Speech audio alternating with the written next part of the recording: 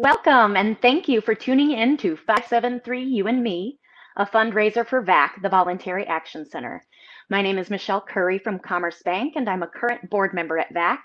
So during 573 You and Me, we're going to learn all about the services and programs that VAC provides to our neighbors right here in the 573. And of course, an event like this could not be possible without our sponsors. So we'd like to thank Burrell Behavioral Health and our presenting sponsor, Central Bank of Boone County. So here to say a few words from Central Bank of Boone County, Denzel Patterson. Hey, good afternoon, everyone. My name is Denzel Patterson, and I am a loan officer here with Central Bank of Boone County, and I'm one of the newest additions to the VAC board. I'm happy to be here today with everyone, and I look forward to what this next hour is going to bring to us. Um, just briefly wanted to just give a personal story about myself and why I'm here today. Um, and so with that, I'm originally from Chicago, um, and like many communities across the country, uh, my family and I needed the support and resources of community organizations like VAC. Um, that was from basic necessities such as hygiene products uh, to assistance for lunch money for school, educational material and programs where my parents were able to kind of get guidance on how to write a resume, how to apply for a job, um, how to interview for a job, things like that.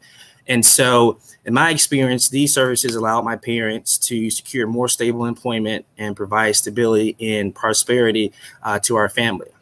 Um, as a kid, I wasn't aware of the impact these services had on my family. Um, as I got older, I realized that these resources that my parents received made our lives a little easier, um, a little easier for them to get up and go to work, a little easier for us kids to get up and go to school. Um, I was able to participate in youth programs that gave me structure, discipline, and purpose. Um, I had exposure to opportunities that I otherwise wouldn't have. Um, neither of my parents went to college, so they weren't equipped to help me with college, res- college readiness. Uh, small things like filling out an application, to writing an essay, to submitting my college application. So it was little things like that that community organizations like that really really propelled my family and our lives to where we are today. Um, I can truly say that I believe in the mission and vision of this organization. And having grown up in a household that benefited and was uplifted from the generosity of those in our community that contribute to the efforts and causes of organizations like VAC, my life would have gone down a different path. Um, when I was approached with the opportunity to join the VAC board, I was excited and also grateful. Um, I truly believe in reaching back to help uplift those within our community uh, who otherwise would be left behind. Um, I've enjoyed my short time here with VAC, and I look forward to continuing to contribute in any way possible. And now I would like to welcome in Ed Stansberry, VAC's Executive Director. Thanks, Denzel, and thanks for sharing your story with us. And a big thanks to Central Bank of Boone County for their support, and especially to all of you who've tuned in to the 573 You and Me event today. We appreciate everyone being flexible with us as we move this event online. I know we all look forward to the day that COVID doesn't rule our lives like it has the last several months. We wish we could be in person, but we wanted to be respectful of our donors and their comfort level with being in person. Finally, I want to thank the Atrium for being so accommodating and uh, allowing us to do what needed to be done. We hope this event next year can be back in their space. For those of you tuning in expecting to see Nick Foster, I hope that Nick is comfortably rocking on his front porch in his rocking chair that was a gift to him as part of his retirement. I had the privilege to step into the executive director role in January of this year when Nick retired. And Nick has been nothing but gracious and generous in his support as I have transitioned into the executive director position. It's been a wonderful experience so far, and I'm excited to be sharing VAC and its mission with you today. We will enjoy a few board member stories and hear a follow up from a client who shared her story at last year's event. 573 You and Me is a fundraiser focused not only on raising money for VAC, but it also allows us to remind the community of the services VAC provides. VAC has been around for 52 years. It began as a volunteer organization providing volunteer opportunities as well as information and referral services. It has since evolved into being the go to organization for basic and emergency needs for our neighbors in the 573 who are struggling. Our mission is to help low income individuals bridge the gaps between crisis and stability to improve their quality of life in Boone County. We do that by providing services that I'll highlight later and by referring our clients to other local organizations that provide services VAC does not. The Columbia nonprofit community does not see ourselves as competitors. Instead, we work together to provide a safety net of services for our neighbors most in need. Every individual VAC serves is a resident of Boone County and has an income at or below 200% of the federal poverty guidelines. Every dollar VAC spends, every service we provide, stays right here in Boone County. The next slide will show the income levels for various household si sizes that are eligible for services. It might surprise you to see some of the income levels that qualify for services. Our clients come from a variety of backgrounds and situations. Some are reentering society after incarceration, some are recovering from addiction, others are recovering from a mental or physical health crisis, others are a part of the workforce but simply do not make enough money to sustain daily living. Still others are retired or on fixed incomes that leave them in a position of need. It's quite possible, based on the income chart you're seeing, that someone you work with, someone you know that is employed, is receiving services at VAC. In 2020, VAC served 5,386 individuals in 2,553 households. Now, I want you to think about that number of 5,386 as it relates to the population of Boone County, which is about 150,000 folks. That's roughly 3.5% of the population coming to VAC for services. To me, that's pretty significant. Of those 5,386 folks, 3,005 were children. The next slide shows some demographics of VAC clients.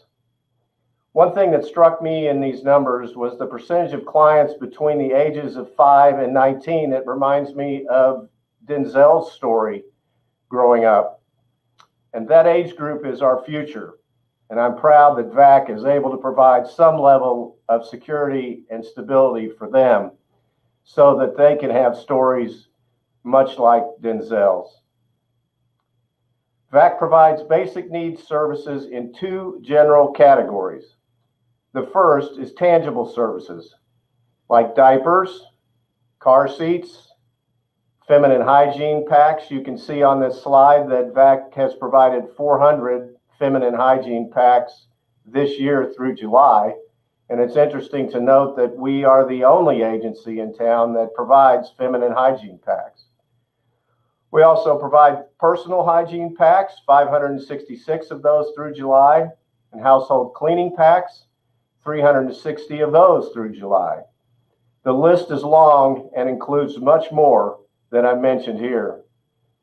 The second way we provide service is financial assistance for things like gas, work uniforms, medical and dental copays, medical equipment, prescriptions, as you can see, we've done 101 prescription services through July, and we also help with eyeglasses. We pay for and help folks navigate the process of obtaining Missouri birth certificates and Missouri photo IDs. We have helped 161 folks obtain these documents through July of this year. Last year, during our 573 You and Me event, we shared Angel's story we followed up with Angel recently to see how she's doing. Here's a quick video update.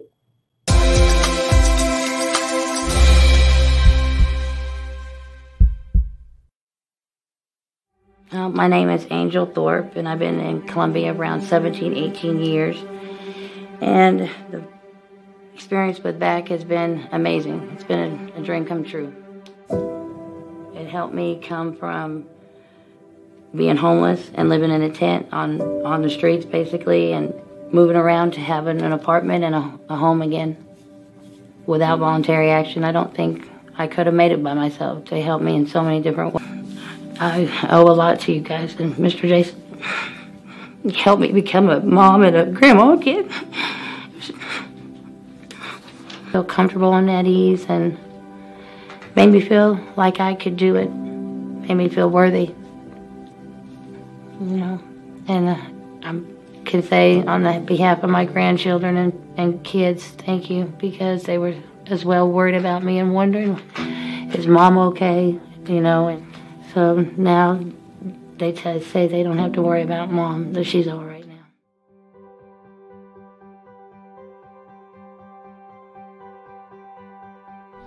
I'm going on, on going on the end of my second year on my lease, and things are going great.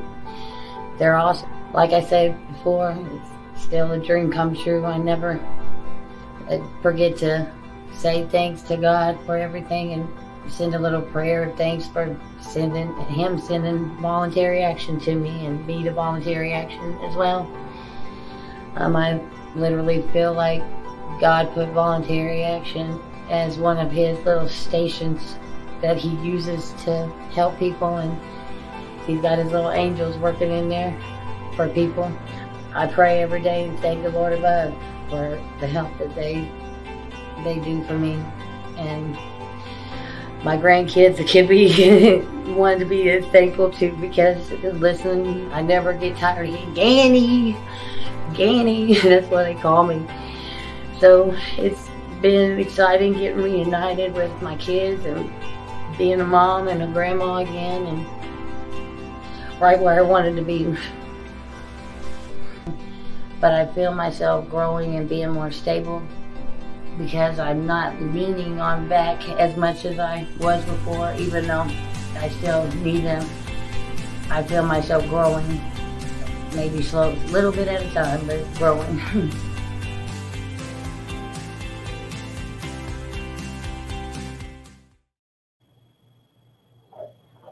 Thank you for that update, Angel. In addition to our basic needs services that I've covered, VAC also offers a housing program to help those who are experiencing homelessness or are at risk of becoming homeless. These individuals may be homeless like Angel, or they could be in housing but are unable to pay rent due to some financial hardship that could lead them to losing their home. Currently, the majority of these hardships, as you can imagine, are related to the pandemic in some way. Homeless individuals also include those who are doubling up with family or friends, couch surfing, or living in a hotel or motel. VAC has provided housing assistance to our clients for over 10 years. In 2020, VAC answered the call to the housing crisis created by COVID. We worked with Boone County, the City of Columbia, and private funders to help our clients with their housing needs. Our funding grew significantly, as you'll see on this slide. It shows the funding that we've received and distributed since 2019. In 2019, we spent 150,000 for rent or hotel motel assistance serving 73 households. As a result of the pandemic, that figure, as you can see, more than doubled to 382,000 serving 267 households. And in case you thought, well, we all know the pandemic is not over. And in 2021, we are projected to spend over 550,000 for rent and mortgage assistance, helping 350 households. This again was a, a reaction by this agency to respond to a need. And I think we have done that very effectively.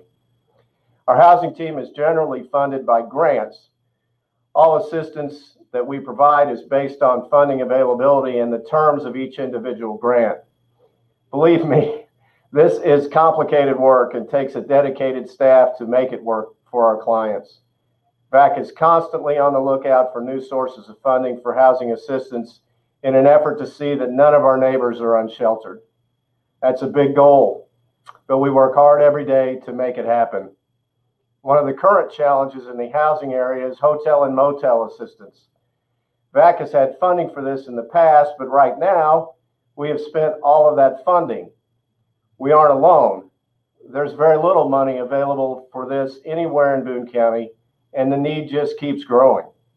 In fact, recently there were two people receiving hospice care in a motel setting. For most of us, this is hard to imagine, but your donation to this event today can help with that need.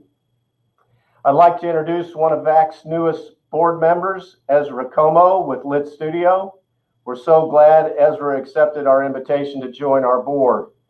Ezra's passion and commitment will be evident as he shares his story with us. Ezra? Thank you, Ed. Uh, hi, everyone. So I'm Ezra Como.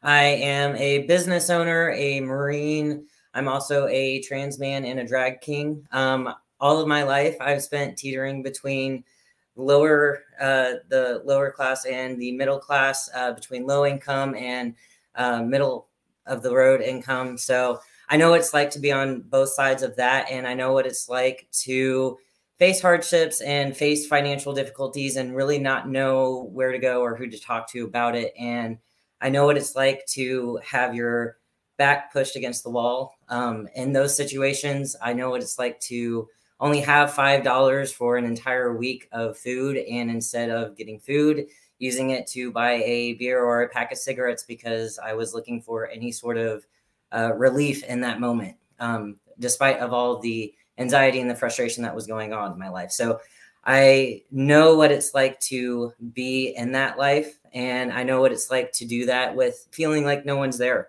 Um, growing up we were low income and it wasn't until i was a teenager that we started moving up a little bit in income. Um, but i remember my parents always working and then whenever we were teenagers them pushing us through school and pushing themselves through school with a household of six people. Um, and i know in doing that it really felt like that we were kind of on our own little island and we were just trying to figure out how to live and improve our situation while also just living and trying to. Um, and after high school, I decided to join the Marine Corps because I didn't really know what else to do. I knew I wanted to go to college, but I couldn't afford it. So I went into the Marines. Um, and from doing that, it was a life changing experience, as joining the military usually is. But from that, I was able to go to college and I was able to go through that program and find opportunities that I wouldn't have found otherwise. And a lot of opportunities that came from knowing others, from tapping into resources to tapping into community resources that I wouldn't have been able to find otherwise. And from those resources, from finding all those opportunities, I was able to become what I am now and open my business to be able to be a community leader, to join great organizations like VAC and from all these experiences, if anything, it's taught me that in order to be successful and in order to have a better life, the best way to do that is through teaming up and using those community resources such as VAC. And so that's why I'm here. And that's why I was really excited uh, whenever I got to join um, VAC for the and being on the board because I would love to really help push the awareness that of what VAC does and what we do here and the resources that we provide. That way, others can really tap into that success and the opportunities that they can have, such as Angel did. So that's why I'm here. Um, I hope to do a lot. And thanks for listening to my story. I'll take it back to you, Ed. Thank you, Ezra. We uh, appreciate who you are and your support of VAC and our mission. I want to lift up some partnerships that have supported VAC for many years. The Boone County Commission, the City of Columbia, and the Heart of Missouri United Way have been faithful partners. These funders have provided significant resources for VAC, and they continue to support various services and programs we offer our neighbors. Without them, it would be difficult, if not impossible, to do the work we do for our neighbors in need. Other amazing partnerships include the Food Bank of Central and Northeast Missouri, the Assistance League of Mid-Missouri, and First Chance for Children. Thanks to them, VAC is able to provide our clients with food from our emergency food pantry, feminine hygiene products, and diapers. We also work with other agencies to help with wraparound services for our clients. Our most recent work has been with Love Columbia. Together, we were able to get Miss Sherry housed after being homeless for 10 years.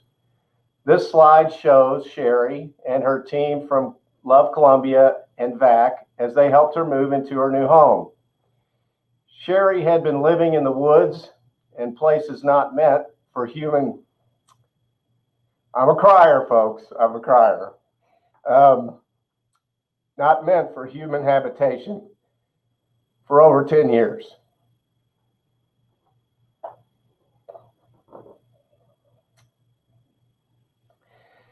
Sherry was connected with the VAC team, members Seneca and Tiana. Tiana, I'm sorry, Tiana. They are on the right hand side. Seneca is on the far right of the picture, and Tiana is next to her. Sherry kept asking, What did I do to deserve so many people helping me get on my feet? Adding,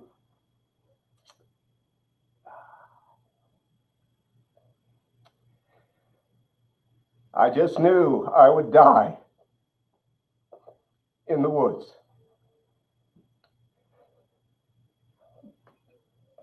But I think this is God's way of saving me.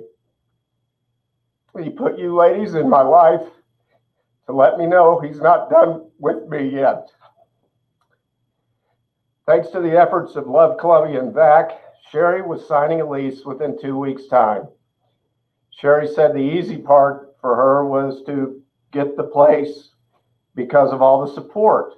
But the hardest part is going to be able to try and live in it because I've been homeless for so long. But I'm going to cherish it because I don't want to go back to being homeless. Sherry continued to receive support after she was housed to make sure she understood what it meant to go from being homeless to having a home of her own. The, the support is still being provided by VAC's case managers on a weekly basis. Just when Sherry thought she was done receiving, Love Columbia showed up on her doorstep with a moving van full of gently used household items to furnish her home. Once everything was moved in, Sherry laid on her new bed, cried like me, and said, Thank you again. Sherry then went outside, prayed, and took the picture you see with representatives from VAC and Love Columbia. At this time, as teary-eyed as I am, I'd like to wrap up VAC's presentation of services and how we are helping our neighbors right here in Columbia, the 573. I welcome Chris Lund, VAC's board president, to the live stream. Chris's leadership reflects his servant heart. Chris is thoughtful, creative, That's and has I a said. just deep-seated drive to make a difference. Will He is the go right person at the right time to build on the successful legacy of VAC. Chris? Hello, thanks, Ed. My name is Chris Lund. I'm the board of the Voluntary Action Center. Thank you for taking time out of your busy schedule to learn more about VAC. To learn more about the needs of our neighbors here in Columbia, the needs of their families, children, and individuals that we help and come alongside of here at VAC. Like many of you, I fell in love with VAC years ago. I saw firsthand that the work they're doing at Douglas Park to serve children who are hungry and in need of a meal. I saw the passion and heart for helping others that our former executive director, Cindy Mustard, had for those in our community who needed a helping hand. And now, some 20 years later, it pleases me to see the heart of Voluntary Action Center and its service to helping those in need is as strong as ever. I am fortunate enough to see firsthand the love, compassion, care, respect, and empathy that the VAC staff, donors, and volunteers display every day when helping those who come to VAC. It has been a joy to see VAC continue to flourish. The needs in our community continue to grow, and now more than ever, people need our help. VAC is doing all that can to keep up with the growing list of needs and they need our help and continue to do so. There are two specific ways you can partner with VAC in their mission. First, the most immediate way to, is to donate to VAC today. I'd like for you to consider partnering with us by giving at least $100. I know you probably have many opportunities to support causes here in town, so if that's not doable, any amount is extremely helpful. But in light of our goal of raising $40,000 today, I want to ask you to consider donating $100. If you can donate more, please do so. You can donate at vacmo.org. It's safe, it's secure, and it's easy, and it's also tax deductible. Second way you can partner with us is by donating your time. We're always in need of compassionate volunteers who have a heart for service. Whether it's lunch in the park, the holiday program, or something else, we can definitely use you. Please go to vacmo.org to learn more. And finally, it's our hope that this is not a one time transaction or random volunteer opportunity. We want partners. We want to develop lifelong relationships and friendships in which we nurture and grow, where our common bond is a love for our neighbors. For that's what VAC's foundation was built upon. The heart of service and helping is embodied by many of you who are watching right now. In closing, the needs here in Columbia are great and they're growing please consider donating your money and or your time today. As for today, our neighbors are hurting and they need our help. For today, your donation can change the life of someone in our community. And just maybe it will change your life as well. Thank you and God bless. Thank you, Chris. Um, a few last thank yous. Uh, Thanks to VAC's Director of Development, Heather Stewart, and her trusty assistant, Penny Kuhn-Snar, for their work behind the scenes today to make this event happen and for their work in the weeks leading up to this event. I also want to thank the VAC staff for their tireless work and hearts for service. They've been a huge help to me as I continue to grow into this new position. Thank you too to the VAC board, what a group of talented, willing folks who volunteer for all the right reasons. The board has been a source of strength and information for me as my first year has unfolded. And thanks again to our presenting sponsor, Central Bank of Boone County and Burrell Behavioral Health for their additional sponsorship. And last but not least, once again, thank you so much for joining us today, taking the time out of your day to be with us and for your donations. I'll leave you with one last reminder of how you can donate back and support 573 You and Me. Have a good one, everybody. Thanks again.